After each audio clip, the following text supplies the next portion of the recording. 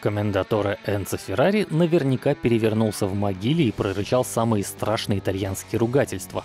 А где-то рядом раздался издевательский голос духа Ферруччо Ламборгини. Что, Амика, вы тоже решили заняться тракторами? Как бы то ни было, перед вами Puro Sangue, Первый кроссовер компании с горцующим скакуном на эмблеме. Многие думали, что этого не случится никогда, однако сама компания давно смирилась с неизбежным и, не считая ранних поисковых разработок, последние пять лет потратила конкретно на Пуросангуэ. Согласитесь, у итальянцев получился самый некроссоверный кроссовер на современном рынке. Пуросангуэ похож на слегка приподнятый Гран Туризмо, тем не менее, именно он обязан отбивать покупателей у паркетников Aston Martin DBX и Lamborghini Urus. В салоне 4 раздельных кресла, 2 дисплея и самый большой багажник в истории Ferrari. А под длиннейшим капотом роскошный итальянский двигатель.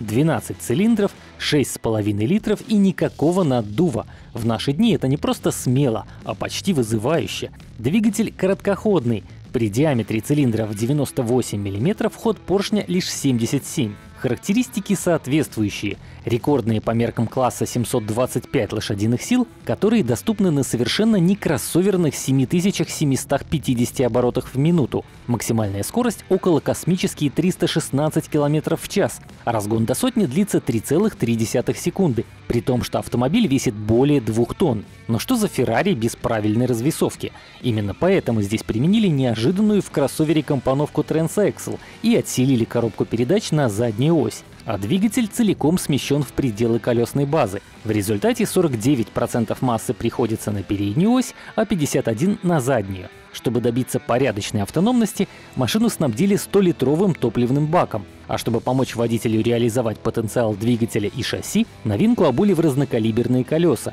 Полный привод в наличии. И это та же система, что уже ставили на машины из Маранелла, начиная с модели FF десятилетия тому назад. Понижающий ряд там точно искать не стоит. Зато впервые у Ferrari появилась активная подвеска, разработанная вместе с фирмой Multimatic. Электронно управляемые амортизаторы призваны бороться с кренами, а полноуправляемое шасси позаимствовали у модели 812 компетициона. При этом итальянцы напирают, что платформа в целом у кроссовера своя собственная. Кстати, слово «пуросангуэ» переводится как «чистокровный». Вам тоже показалось, что в этом есть оправдательные нотки?